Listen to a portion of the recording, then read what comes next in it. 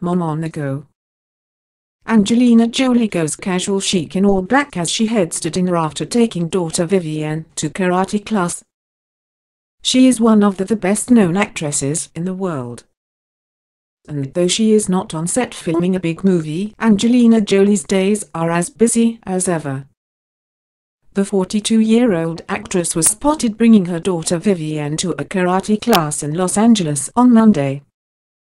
Then, hours later, the stunner emerged in a much dressier outfit as she headed to dinner at a Amaya's Sushi with Vice Chairman of NBC Universal Ronald Meyer.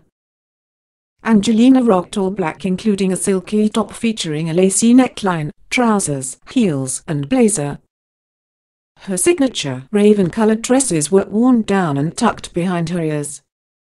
She contrasted her porcelain skin with bold eye makeup and a swipe of magenta lip.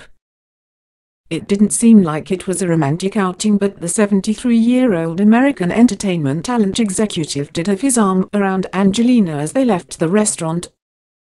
Earlier in the day Angelina looked happy to be with her nine-year-old daughter as she picked her up from a martial arts class. The Oscar winner rocked a grey robe coat over a black top, trousers, and shoes combination. She accessorized with a black leather designer bag with matching aviator shades. Her raven-colored locks were put in a ponytail as she wore minimal makeup. Vivienne looked adorable in a green t-shirt tucked into the white pants from her karate gi along with comfy loafers. In addition to Vivienne she has five other children including Shiloh, Zahara, Pax, Knox, and Maddox Jolie Pitt.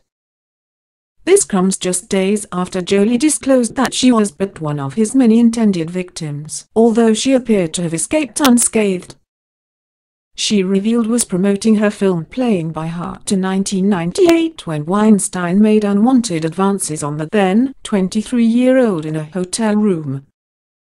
I had a bad experience with Harvey Weinstein in my youth and as a result chose never to work with him again and warn others when they did, Jolie told the New York Times.